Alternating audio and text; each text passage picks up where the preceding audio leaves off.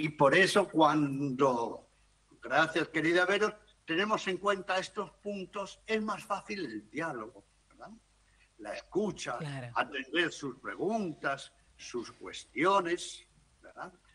Porque entender a los niños, ¿verdad?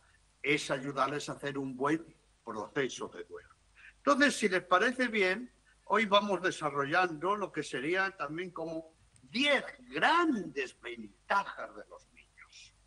10 grandes ventajas de los niños sobre los adultos. Miren, estos son ventajas que tenemos que reconocer que los niños tienen sobre nosotros. Vamos viendo algunas. ¿eh? En primer lugar, si los niños tienen un buen entorno de escucha y de expresión, los pequeños no, no se retraen tanto como los adultos. Esto es una gran ventaja, no retraerse. Buscan naturalmente ¿eh? Eh, comunicar contar sus dudas, inquietudes y penas a la gente allegada a ellos, ¿no? El adulto, por el contrario, busca más estar a solas con su pena. Entonces, ¿de qué depende de que los niños no se retraigan? de que tengan un buen contexto de escucha, de expresión, de que les pregunten, de que les faciliten que los niños hablen. Esto es fundamental porque al sufrimiento hay que darle palabra, al sufrimiento hay que darle idea, al sufrimiento hay que darle concepto, ¿no? ¿Es importante llorar? ¿Es importante llorar? Sí pero más importante es darle palabras a la herida. Querida Vero, y esta pregunta para todos, los adultos solemos ser especialistas en crear ese contexto para que los niños se vean naturales para hablar de su pena interior. ¿Qué le parece a usted? No, Generalmente no, porque es el adulto el que tiene dificultad para elaborar su pena interior, es el adulto el que no puede aceptar la muerte como tal y sigue siendo un tabú, es el adulto el que tiene heridas abiertas quizás desde la infancia y nunca se animó a sanarlas. Es por ello que eh, la respuesta es no, padre, ¿no? Sí. El otro día hablaba yo con un joven y por cierto la adolescencia es un una época, ¿verdad?, que decimos normalmente de crisis, ¿verdad? ¿Eh? El adolescente, la chica adolescente está buscando sus identidades y justo había muerto el papá de accidente, de tránsito, ¿no? Y me decía, me decía la criatura, con la muerte, con la muerte de mi papá, ha muerto mi mamá con la ah. muerte de mi papá. Es significativo. mi mamá, ¿no? Ah. Y estoy como perdida, ¿no? Dice, los mismos abuelos, ¿no? Tampoco puedo hablar con ellos, porque empiezo a hablar y lloran, y lloran, y lloran, ¿no? ¿Eh? Entonces, fíjese cómo nosotros, los adultos y los viejos, complicamos a los niños cuando no le damos un contexto. Claro, y esto es comprensible porque dice, bueno, se les ayuda a los niños desde un, desde un contexto aséptico. No, usted lo acaba de decir. Si el niño sufre es porque ha habido algo grave en la familia y todos están afectados. ¿No es así? Miren, cuántas veces yo también he escuchado, ¿no? Claro, porque estas cosas se las tenemos que decir a los adultos. Y me dicen, pero padre Mateo, ¿eh? Dice, no sé qué hacer conmigo misma. No sé qué hacer conmigo mismo. Que a veces ni quiero venir a casa, ¿no? Como para ocuparme de los chicos. Yo hago pues que no les falte nada, que tengan la comida, que vayan al colegio. Pero lo demás, si soy yo el que estoy perdido. Muy bien. Pero recuerden, los niños no se retraen si les damos esas facilidades. Y claro, esto es un punto extraordinario. Recuerden que en toda situación traumática, ¿Qué es lo que dicen los, los especialistas en trabajo de duelo por situaciones así, eh, muy convulsivas? Lo primerito, hablar. Lo primerito... Expresarse. Eh, porque eso es el primer antiestrés. Pues eso lo tiene que ser también en los niños. El segundo punto, vean que son muy interesantes, ¿no? Los niños, qué curioso, se vuelven insistentes, demandantes ante sus necesidades, hasta verlas satisfechas. Qué bueno que es esto. Sí, que los niños sean demandantes, que exijan. Veamos la diferencia con un adulto. Y aquí pido de nuevo su ayuda, querida Vera. Dígame, ¿cuántas veces los adultos se retraen para pedir ayuda? ¿Cuántas veces dicen que están mal, se les ofrece ayuda y no la aceptan? ¿Eso suele ser una tónica?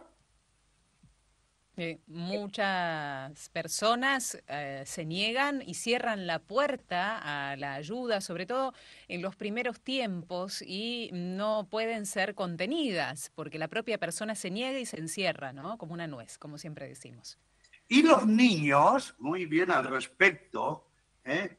buscan, buscan otras ayudas, buscan otros interlocutores hasta fuera de la familia, incluso en sus compañeritos con los profesores, a veces... Los maestros, sí, hablamos de los maestros.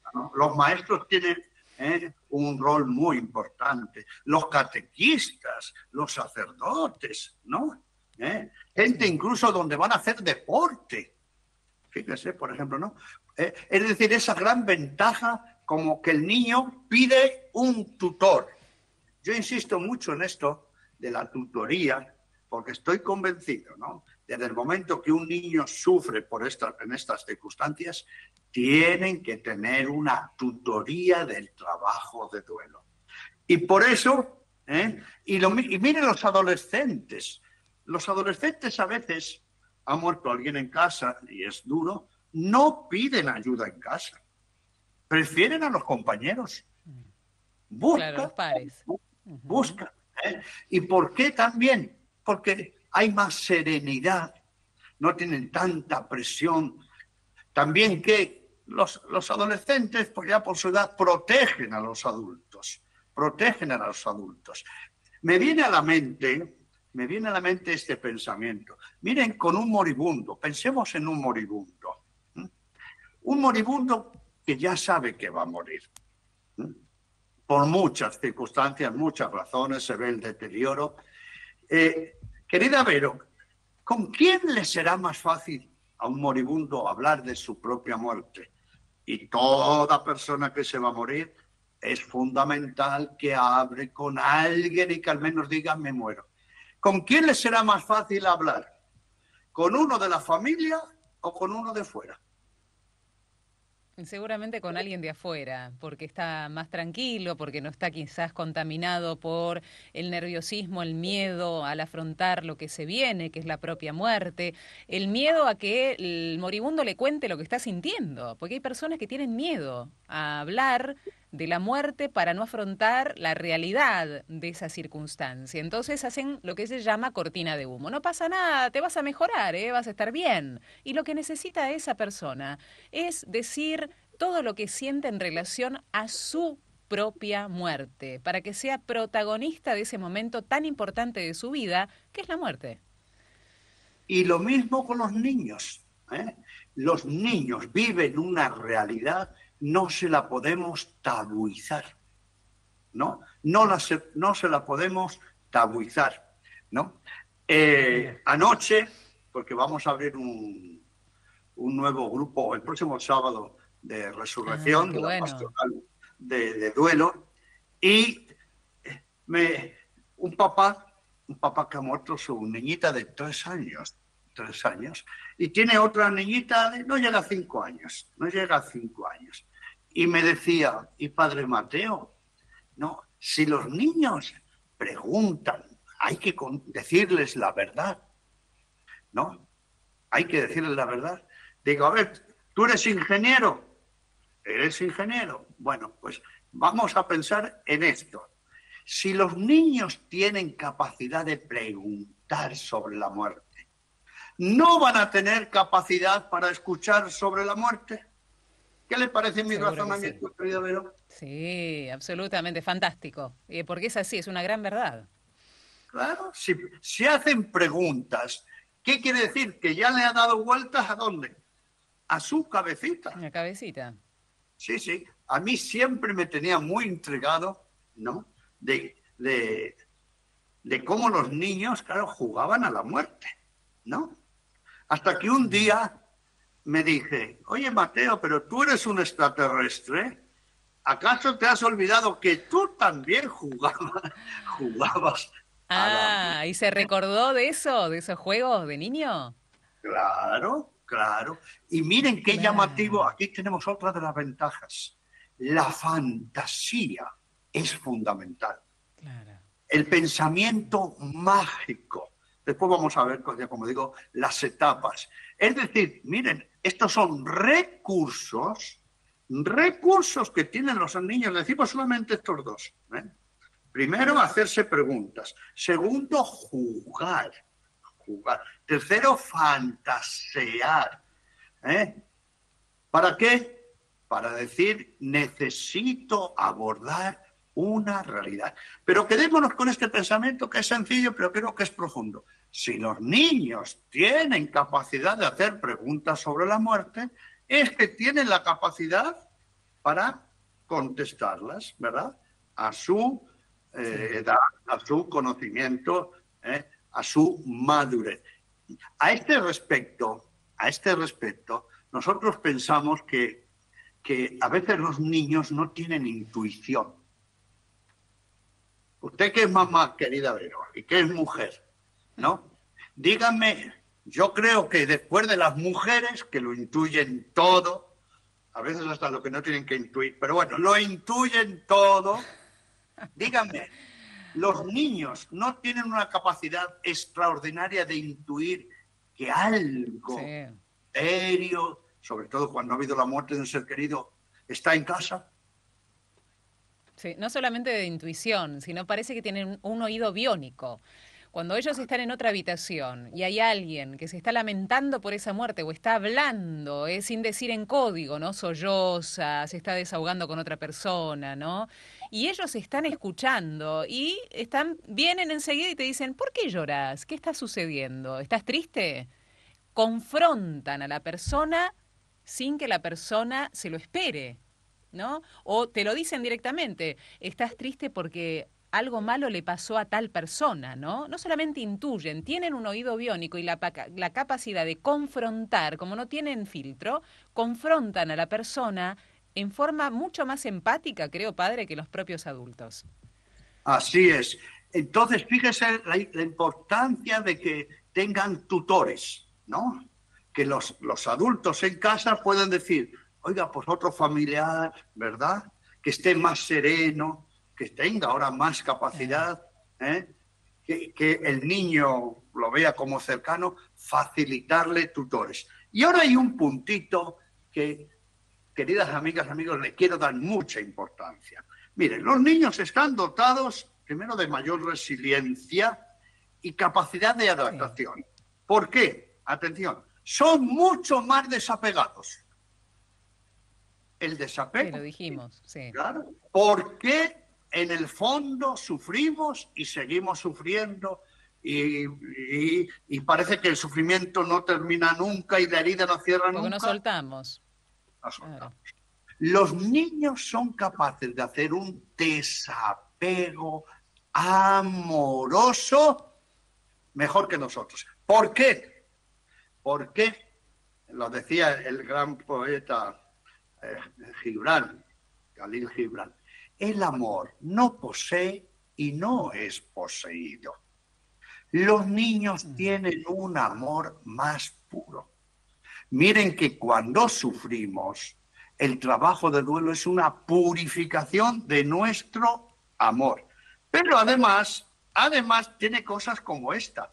Los niños perdonan más fácilmente. Detrás de heridas profundas querida Vero, no está en el tema de pase de facturas, lo que hicimos, lo que dijimos, lo que nos enojamos, ¿eh? lo que queda pendiente. Los niños, al perdonar más fácilmente, nos dan una lección también de resiliencia. Hay uno muy importante. Los niños no sufren en homenaje a los muertos. Ay, querida Vero, aquí le pido de nuevo su ayuda, ¿eh? porque esto de hacer homenaje a los muertos o pensar que nuestra vida en adelante está en función, ¿no? En que, o que tenemos, atención con esto, ¿eh? la obligación de sufrir. Que porque sufro más, lo quiero más. Creo que en esto tenemos que aprender todos de los niños, ¿no le parece, Vero? Absolutamente, porque los, porque sufro más, lo quiero más. Porque sufro más, entonces lo voy a recordar mejor.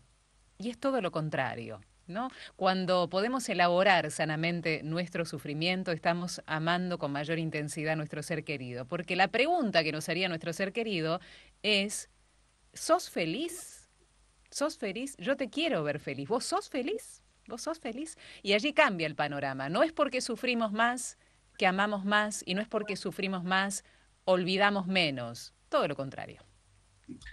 Efectivamente, los niños manejan el recuerdo de otra manera. No se enganchan con recuerdos negativos y sufrientes, insistentes. Fíjese que los adultos, claro, estas heridas de las que hablamos no son heridas sensitivas de dolor somático, son heridas de sensibilidad.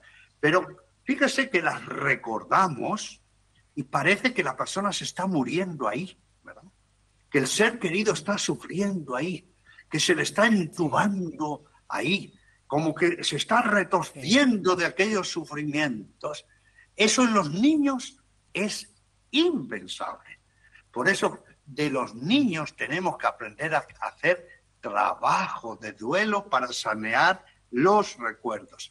Y hay un pensamiento que quiero también, su, comentario siempre tan agudo. Miren, los adultos llegan a decir, yo no voy a ser feliz más en mi vida. Es más, ni quiero. Pero los adultos dicen una frase que gracias a Dios jamás la va a decir un niño esta herida es para toda la vida.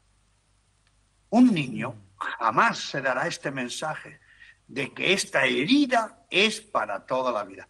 Usted conoce adultos y viejos que dicen esta frase y se la toman muy en serio, incluso que están convencidos de que esa herida es para toda la vida, querida Vero. Sí, y no solamente eso, se tomaron a pecho el poder cumplir a rajatabla esa frase y no hicieron nunca un trabajo sano de duelo, se quedaron dentro del pozo. El pozo, siempre decimos, los primeros tiempos de un gran sufrimiento es como estar en un pozo, oscuro, húmedo, sin eh, ninguna mano tendida, ¿no? Y en la medida que vamos pidiendo ayuda y vamos elaborando y haciendo el trabajo del duelo, vamos saliendo de ese pozo. El resultado en un niño es, eh, quizás poniendo un ejemplo de la vida cotidiana, me caí de la bicicleta.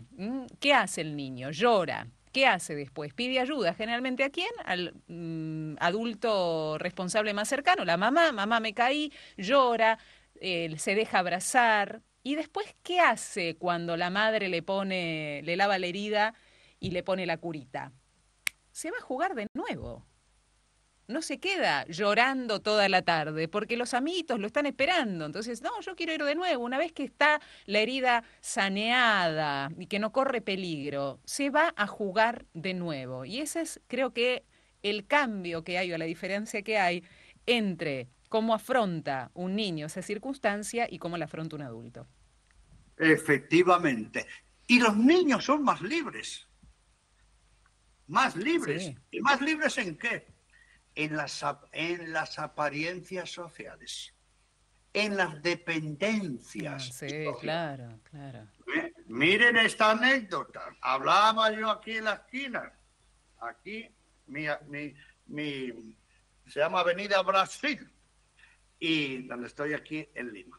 Con una señora que había, había enviudado y me estaba contando algo simpático, ¿no? Y yo contento de verla sonreír. Y en un momento cambia de cara. Y le digo, vieja, ¿qué pasa? ¿Por qué cambia de cara? Pues, ¿por qué se me pone así triste? Dice, ¿qué está pasando una vecina? Y si ve que me estoy sonriendo, va a pensar que ya me he olvidado de mi marido. ¿Qué le parece? ¿Qué mm. le parece, querida Vero? Mm. Los niños claro. Mm. no tienen esa dependencia social. ¿No? ¿Qué va a pensar la gente de mí si estoy bien? ¿Eh? ¿Qué va a pensar la gente de mí si voy al cumpleaños de una amiga cuando hace un par de meses que, que ha muerto mi ser querido, ¿no? Estos son puntos que fíjese que tenemos que aprender mucho, mucho de los niños. Y esto no tiene que ver con el amor. No tiene que ver con el amor, ¿eh? ¿eh? Porque ningún, nadie que hemos dicho que se muera y nadie que se va a morir, pues yo no conozco, pero a nadie, y he conocido a muchísimos antes de morir, que han hablado con los familiares que le digan, una vez que yo me muera, ustedes no los quiero ver sonreír. Una vez que yo me muera, lo contrario. no los quiero ver eh, sentados viendo una película. ¿eh? Una vez que yo me muera, que no haya una fiesta. Una vez que yo me muera, ¿eh? ¿no? ¿qué dicen? Todo lo contrario, todo lo contrario. ¿Y nosotros qué hacemos? Todo lo contrario de la voluntad. Todo lo contrario. Miren, miren. Es cierto, padre. todo lo contrario, todo lo contrario. Damos tarea a todos los demás que van, preocupamos a los demás, no respetamos la voluntad de los muertos y encima decimos que sufrimos porque los amamos. Yo creo que si un niño escuchara esto, diría, ay, me voy a pensar a ver si voy a ser adulto, porque yo a estos adultos no los entiendo. Ya está, no me enseñan nada. Padre, vamos a una pausa musical. Mientras tanto, ustedes que están siguiendo esta charla y esta conversación, ¿qué opinan? ¿Qué preguntas tienen? ¿Qué inquietudes les surgen? ¿Hay niños en casa? ¿Cómo toman o tomaron la muerte de un ser querido si lo han experimentado? ¿Qué sucede con ellos y estas capacidades por sobre los adultos, ventajas por sobre los adultos en la elaboración del duelo? ¿Lo notan? Comuníquense con nosotros porque las iluminaciones siempre las esperamos junto al Padre Mateo cada lunes al 351-871-593. Los esperamos.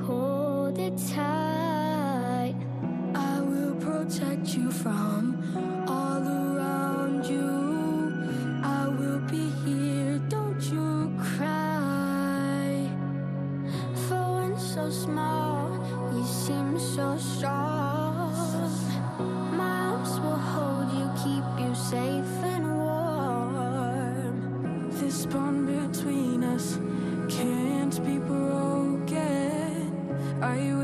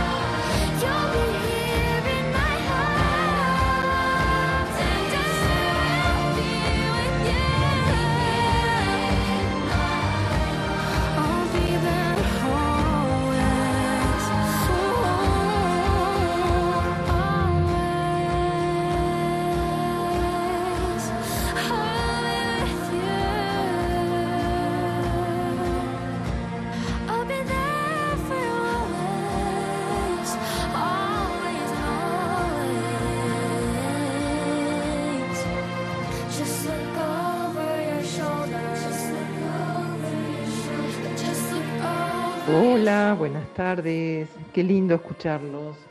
Estoy hablando de Santa Rosa La Pampa. Una pregunta concreta eh, que veo a, la distancia, ¿no? Cuando estamos entrados en años. Hace muchos años atrás, ante un duelo, era todo negro, vestirse de oscuro. Eh, bueno, esto de que no podía haber música, el duelo por durante un año, sí o sí, y intentar hacer algo diferente era lo que acaba de decir el padre, ¿no? ¿Cómo vas a hacer eso? Eh, por gracia de Dios y por obra del Espíritu Santo eso ha ido modificándose. Gracias, gracias. Si quieren, hablen un poquito al respecto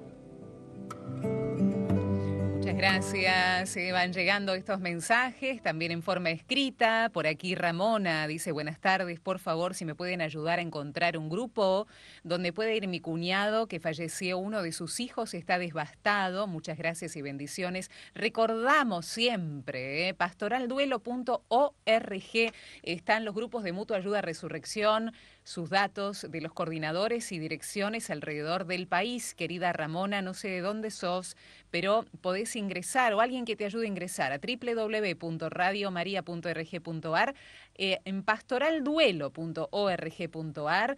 Eh, podés encontrar las direcciones de los grupos de mutua ayuda resurrección. pastoralduelo.org.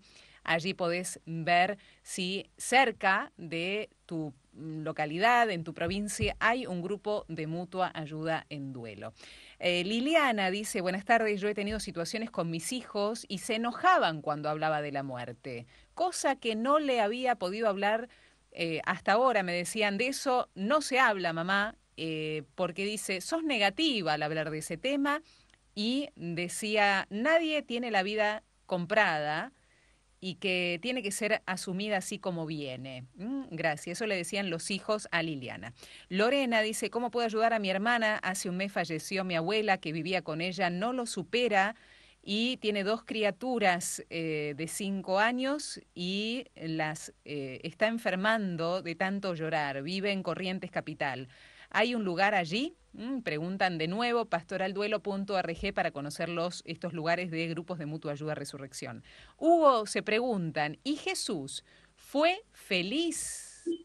¿No? Jesús fue feliz después de su propia muerte, ¿no? Después de su propia muerte fue feliz. ¿Qué más? Mercedes dice, muchas veces cuando acompaño en tiempo de duelo, eh, les ayudo a buscar la palabra de Dios eh, y así ayudo a través de la propia palabra del Señor, dice Mercedes.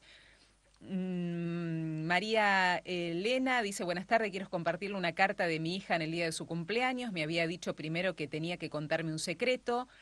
El día anterior había fallecido una amiga luego de una larga enfermedad y sabían del dolor que estaba pasando. Mi hija tenía siete años en ese momento y esa eh, compañera pudo expresar a esa edad lo que le sucedía a través de una carta.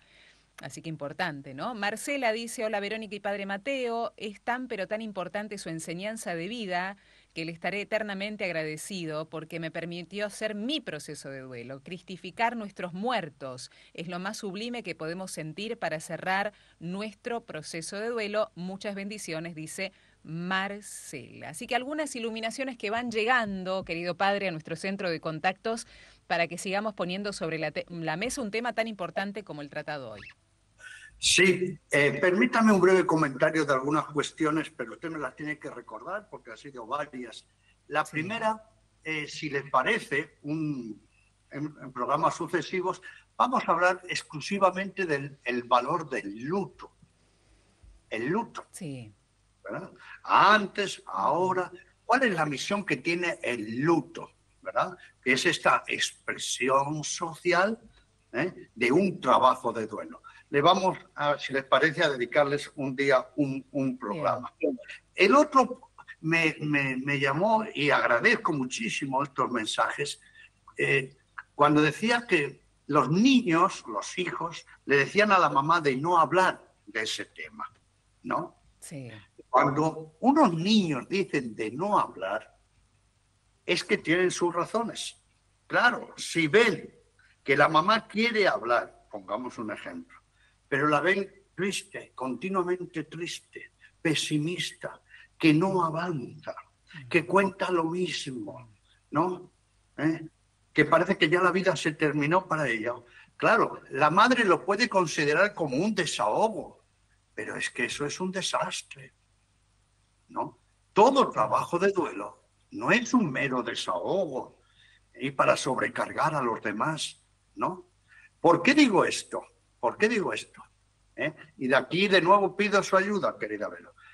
Hay personas que es capaz de estar una hora, 60 minutos o más, hablando de su pena, de su herida, y no mencionar para nada la sanación.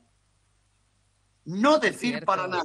Porque lo único que hacen es desahogarse. Claro, esto pasa en los grupos de mutua ayuda resurrección. Ojo con ello, nos están pidiendo el dato, ¿no? Por ejemplo, ya dos, tres personas nos dicen dónde hay grupos eh, de mutua ayuda etcétera. Hay muchas personas que van a estos grupos simplemente para desahogarse, no hacen el ciclo completo, que generalmente es de un año, para poder hacer el proceso de sanación, sino se desahogan y desaparecen del grupo, porque lo único que querían es eso, ni siquiera estaban abiertos a la apertura de ser eh, eh, confrontados empáticamente, de poder escuchar lo que algún otro integrante del grupo o el coordinador tenía para decir. Simplemente buscan un desahogo, como es una pastilla antiinflamatoria en el momento de que nos golpeamos un brazo o una pierna, ¿no? Se desinflama, se desinflamó, listo, pero resulta que había algo más allí. No le damos bolilla y seguimos tomando el antiinflamatorio, cubre el dolor,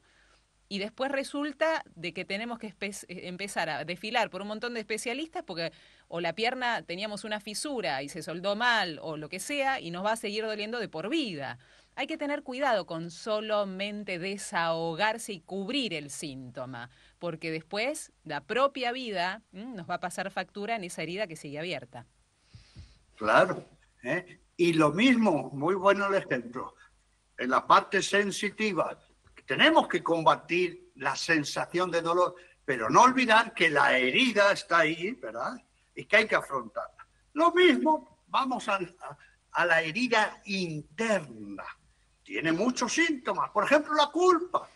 Pero la culpa no es una herida, la culpa es un síntoma de que hay una herida de base que hay que afrontarla. Pero claro, vamos al ejemplo que decía la mamá y que agradecemos la sinceridad. Si unos niños escuchan que unos papás ¿eh? lloran y cuentan y que no avanzan, no aceptan, no asumen, ¿no? ¿No? Entonces llega un momento, es que es, un agobio. Es un agobio para los niños. Bueno, y ahora permítame un ejemplito de ayer, ¿no? Sí. Viene una señora y me dice que había muerto un compañero de trabajo. ¿No? Ya la señora de, de jovencita nada, ¿no? ¿Mm? Ya sus años, ¿no? Y dice, es que Padre Mateo es muy duro, es que esto, es que es muy duro, es que me, me cuesta mucho, es que, es que, es que. Y yo le decía, ¿y? ¿Y? ¿Y? Y que es muy triste porque... Y yo le decía, ¿y? ¿Y? Y ya me mira y me dice, ¿y, qué? Digo, señora, si usted va al médico porque tiene una herida en el cuerpo, ¿sí? ¿Sí? Y no le dice, doctor, ¿qué tengo que hacer para curarme?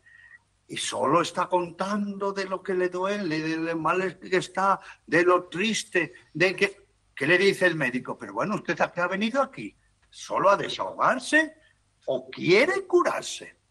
Le digo, señora, ¿no se da cuenta de que hace más de media hora que todo lo que me ha dicho es pena, pena, pena? Y no me ha dicho, Padre Mateo, ¿y qué tengo que hacer? Queridas amigas y amigos, cuando sufrimos, ¿eh? necesitamos hacernos esta pregunta.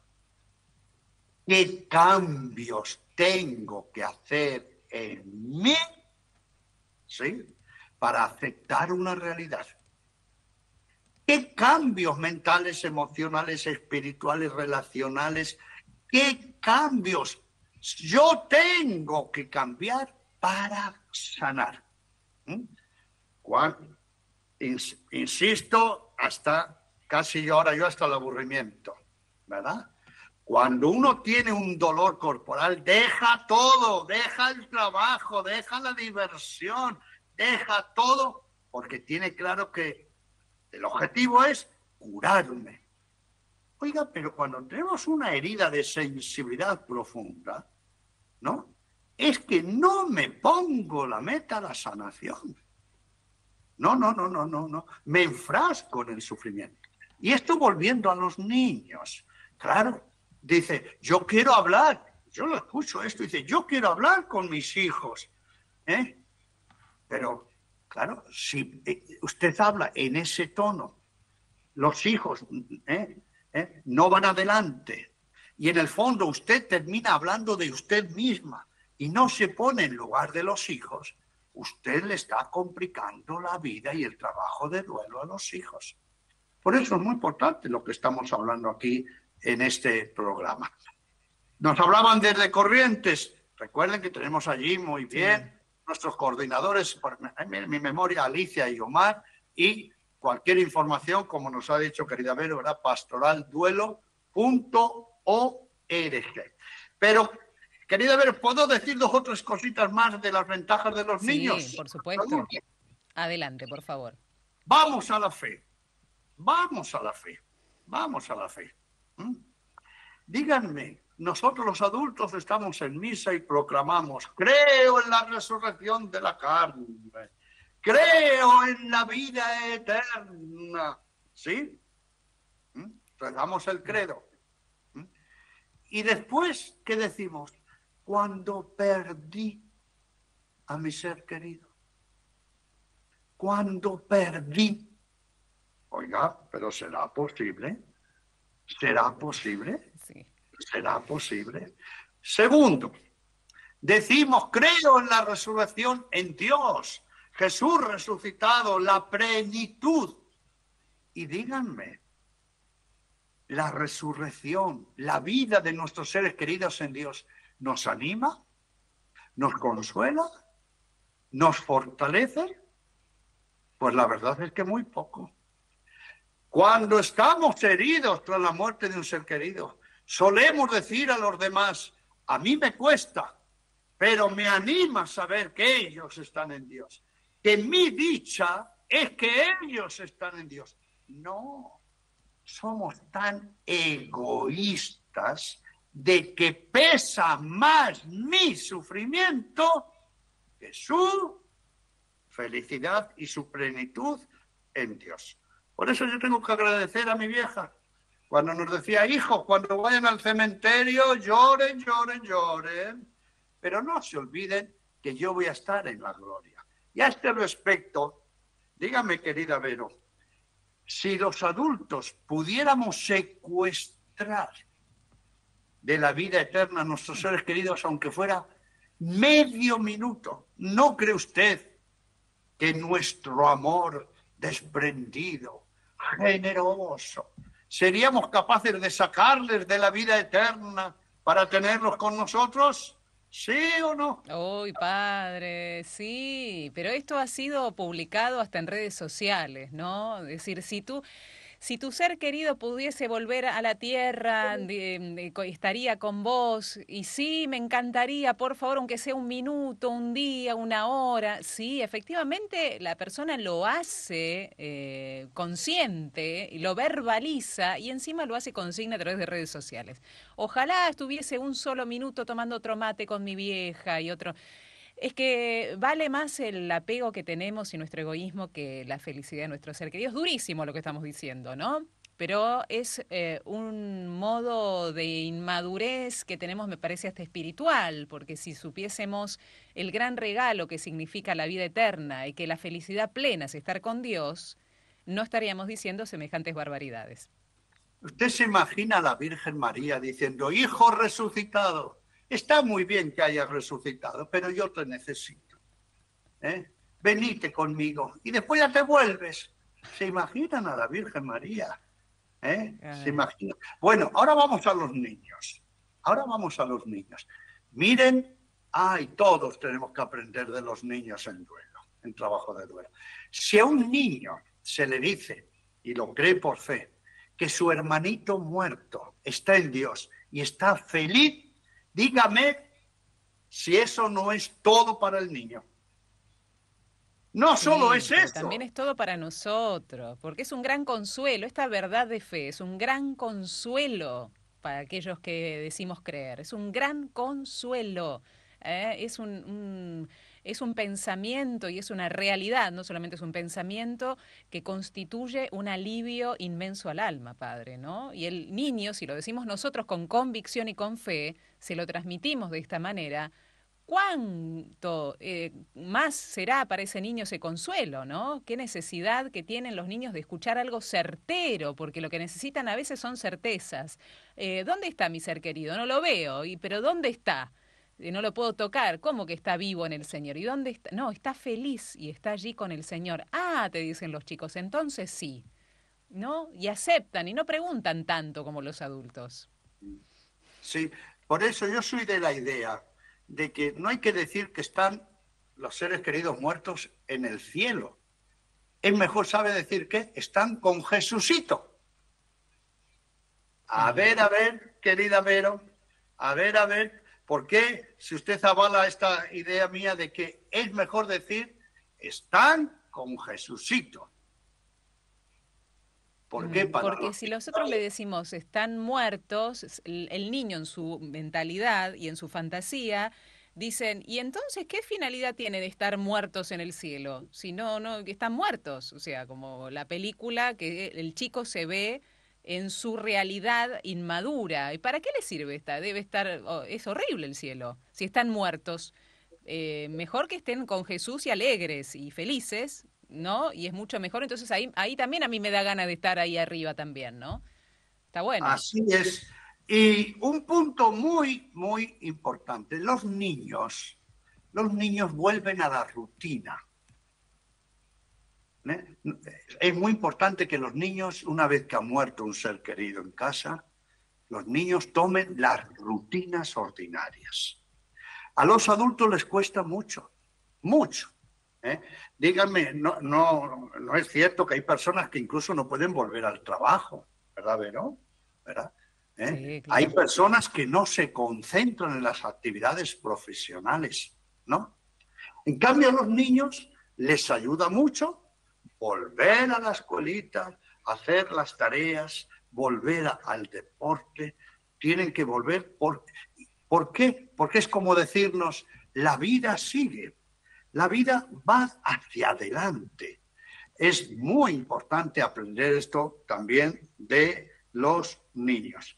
¿Cuál es otro punto que debemos tener, tener en cuenta? ¿Eh? Eh, los niños se concentran un tiempito en su sufrimiento, ¿verdad? pero no pueden estar muy concentrados en la angustia de su sufrimiento. Poco tiempo después están haciendo otra cosa, están pensando, están sonriendo, ¿eh? tienen como esa resiliencia para no entrar en una angustia o una ansiedad que los devora interiormente en su sufrimiento. ¿no? Otro aspecto muy, muy importante para, para los niños, ¿cuál es? ¿Cuál es? ¿Eh? Que los niños, ya hemos dicho, tienden a jugar con la muerte.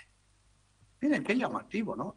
Tienden a jugar con la muerte para controlar sus temores, sus ansiedades. El juego le es familiar y de esa manera expresan, expresan lo que les puede abrumar. ¿Qué tenemos que aprender de aquí de los adultos? No impedirles esos juegos no impedirles. Y por eso es muy importante permitir que los niños dibujen. ¿Cómo estás? ¿Eh? Se ha muerto, por ejemplo, un hermanito. Dibuja, dibuja a la familia, dibuja a tu hermanito. ¿eh? Los niños tienen esos recursos expresivos, expresivos. Y finalmente, lo hemos dicho antes, pero lo quiero recalcar. Los niños nos enseñan que toda herida antes o después tiene que ser saneada. No entra en la mente de un niño pensar que no va a ser feliz nunca más o que esta herida es para siempre.